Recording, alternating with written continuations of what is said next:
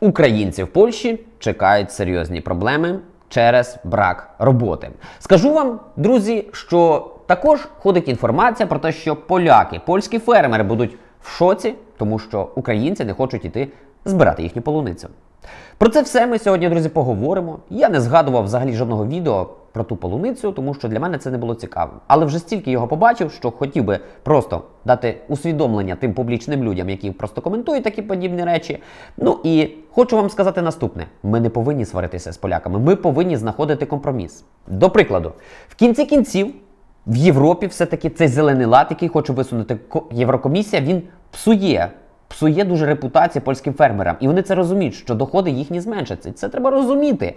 І те, що нам інколи показують по телебаченню, не завжди правда. Якщо ви поспілкуєтеся з фермерами, то ви це зрозумієте. Якщо ми говоримо також про те, що вони ще протестують, то так. Вони ще протестують. І кожну суботу кінця місяця вони будуть виїжджати рівно на одну годину.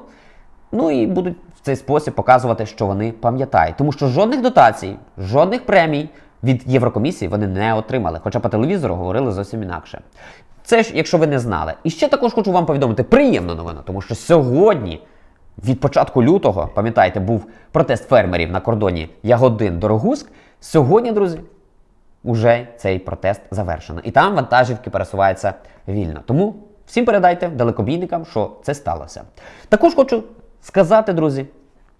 Користуючись нагодою, тим, хто вчора в Катовіце приїхав по моєму приханню на фестиваль борщу, який організовувала фундація Гремі Персонал, ви молодці.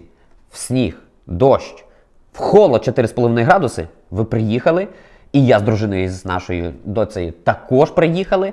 І просто доєдналися до того фестивалю, який допомагає військовим нашим українським отримувати тактичну медицину за ті гроші, які ви донатили на цьому фестивалі. Їх ще буде маса цих фестивалів за ціле літо, тому ви ще зможете доєднатися, якщо не змогли приїхати. Тому що мені реально просто я в шоці і в захваті від того, що українці з усієї Польщі приїжджали в Катовіце, щоб відвідати цей фестиваль. Тому ви молодці, з вами можна виграти будь-яку війну. Ми маленькими такими кроками будемо допомагати нашим військовим, бо як не ми, то хто? Ну і звісно ж, повертаючись, друзі, до нашої теми, знаєте, от полуницю фермери не можуть збирати. От ви задавали собі питання: якщо не українці будуть збирати, то чи знайдуть поляки заміну для українців? Мені здається, що так. Якщо ми говоримо взагалі про брак робочих рук, то він дійсно існує сьогодні на сьогоднішній день в Польщі. Зараз безробіття більше ніж минулого року. І якщо ми говоримо про банкрутства компаній, вони також існують. Ви знаєте, от зараз Bosch також проводить реструктуризацію в Польщі, і звісно ж, частина людей буде звільнено. Багато, фабрик також звільняють працівників через те, що вони банкрутують. Через що банкрутують? Інфляція, підвищення заробітної плати в Польщі, зміна влади. Європейська комісія вводить ті чи інші обмеження. Ну і ми не до кінця це все можемо розуміти, але ви розумієте, в чому проблема? Якщо ми критикуємо поляків за те, що вони е, розсипали українське зерно, то ж не всі розсипали. Ви ж пам'ятаєте це? Хтось, хто працює, працює справжню роботу виконує, то він не має часу їхати страйкувати. Бізнесмени, вам запитання, ви маєте час їздити страйкувати? Чи вам потрібно гроші заробляти? Тому що вашу полуницю завтра може залити, а ні, ви їдете страйкувати. Мені здається, що тут все зрозуміло для тих, хто критикує польських фермерів, які збирають свою полуницю.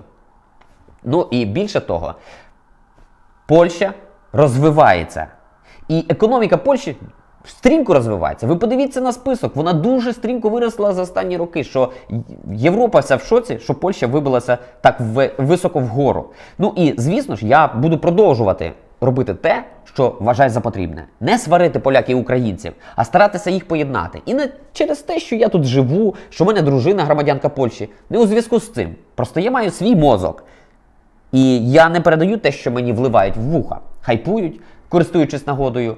І для мене це не головне. Мені головне, друзі, що ви повинні розуміти, наші народи завжди пробували посварити. Якщо ви це зрозумієте, пригадайте історію, то будете це знати. Ті поляки, які нас поважають, а їх є багато, які публічно це роблять і постійно. Наприклад, Давід Детхерт. Я думаю, що багато з вас знають, хто це.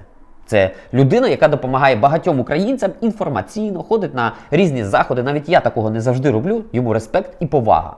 І знаєте, от такі маленькі кроки таких маленьких людей роблять великі просто приклади для маленьких людей, які дивляться телевізор і слухають ту інформацію, яку їм передають. Отож, я сподіваюся, що ви зрозумієте, що як не ми, то хто? Напевно, багато незрозумілої інформації. Це через те, друзі, що пройшли вихідні, і той, хто слідкує за мною в інстаграмі, знає, що відбувалося. І я вас закликаю, друзі. Треба завжди ділитися своїм досвідом. Якщо ми говоримо зараз про ДП-документ, ще також додатково, то водійські права зараз не, можна замінити або ж зробити нові через них, тому що у них збій в системі.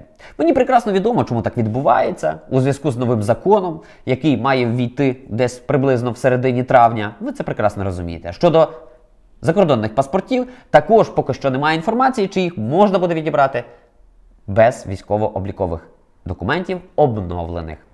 Тому підписуйтесь на канал, щоб слідкувати за інформацією. І сподіваюся, що я коротко вийшов до вас в люди в інтернет і передав вам інформацію, як каже моя бабуся.